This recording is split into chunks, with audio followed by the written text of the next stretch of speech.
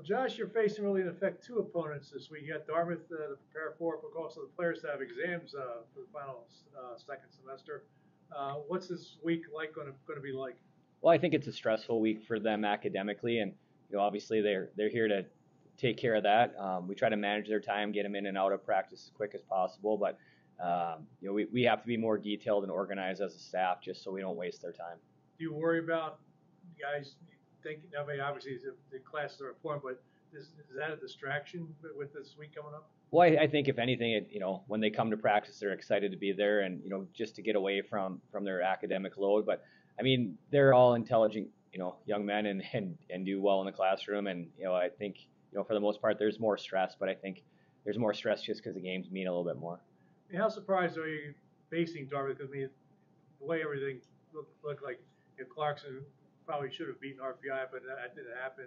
So you that, that changed your preparation going into this week. Well, the only thing it changes, we probably spent a little bit more time last week um, once we got done with Brown preparing for Colgate, because um, that's kind of what you, you, you thought you were going to get. Luckily for us, we did, you know, um, take some time and start watching some Dartmouth. So we were, uh, you know, we're we're pretty familiar with them, and we played them just a couple weeks ago. So it's not like it's uh, you know just a brand new opponent. Yeah, Josh. I mean, you beat them five one in, in their place earlier in the season. How confident is, is this group going into a you know three game series there? Well, I, th- I think it's you know it's a tough place to play, and um, obviously they got the best of us in the in the last game, where um, you know I, th- I, think we can learn from it, and uh, you know maybe make a few slight changes, nothing too big, but I think you know knowing that you've won there before, it's a it's a nice feeling, and um, you know, there, there seems to be a little bit more space there where I, they, they clog you up and, and really defend well in the neutral zone. So hopefully we can, you know, use that to our advantage. How important is it going to be to keep that momentum going the way you guys played against Brown? And you played that way up there at, at Dartmouth back in January. So how important is it to, to you know, get that jump uh, this weekend on that on their on their home ice? Yeah, I, I, think it's huge. I mean, obviously they have the advantage of last change and the advantage of playing in their own rink. So um, we have to bring a ton of energy. We have to bring our physicality. Um, I mean, I, I, think the last time we played them, we were undisciplined with our physical physical play, where um, but we weren't as physical as we should have been. So I think you'll see, you know, us focusing on them being really, really physical with more discipline. What about? Um, I mean, what is it about Dartmouth? I mean, the team was expected to finish 11th this year. I mean, they had a lot, they had nine ties in the season, but I mean, what what is what is it about Dartmouth that has impressed you and made, made them a little bit of a surprise team this year? Yeah, I think anybody that really watched them last year saw that like they were in every single game. They were just really young, and, and now this year they've kind of you know turned turned the corner a little bit as far as having a little bit more experience. And you know, obviously they have a goaltender that keeps them in every game. They they play really structured. They defend hard. Um, you know, I, I think their young talent has started to gain a little confidence off offensively, and that's when you've seen them score a little bit more. Um, but they don't give up much, and um, you know they're they're a tough opponent.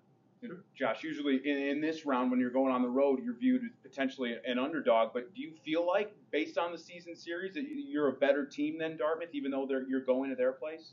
I think right now we feel like we're we're confident in the way we play, and if we if, if we play physical, if we play fast, if we possess the puck, then we can play with anybody you know in the country. Um, so uh, you know, obviously Dartmouth presents a really tough tough opponent, and um, they've they earned the opportunity to play in their own own rink with uh, you know being ahead of us in the in the regular season. So um, I, I don't think we feel like we're a better team, but I feel like we feel like we can play with anyone. Any particular players on Dartmouth you have to keep your eye on?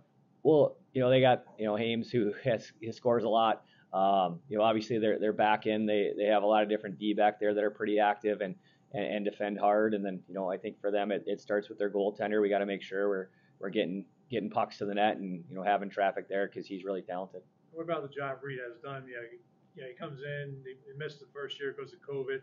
It, you know, taking a little time to build that up there, but you know, just yeah. the fact that he's got them where nobody expected, as I said earlier. I mean, just to comment on his uh, uh, effort and performance. Yeah, I think he's, you know, yeah, I think he's a great coach. I think he's, um, you know, if I don't know who who will win Coach of the Year, but like I think he's very deserving if he if he were to get it because he's done a a great job with them this season. Um, you know, to take a team that you know a lot of people thought would be at the bottom half of our, our conference to earn a bye.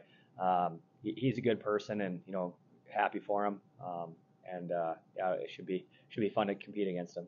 Coach, what did you guys do particularly on Saturday that you really hope you see again this weekend?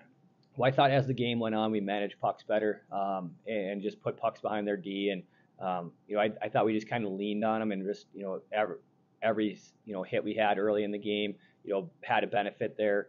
You know, as the game wore on. Um, and, and I think when you're going to a series, like it's important that you're you're physical because they, like I said, I, I like their D corps back there. They got good D that can skate. Um, so we have to be physical and hard on them. So you know, by if it goes to Saturday and Sunday, like they don't want to touch pucks. So like we gotta make sure we don't pass up hits, and um, you know we gotta box them out defensively and just just play a you know a physical rough style of hockey.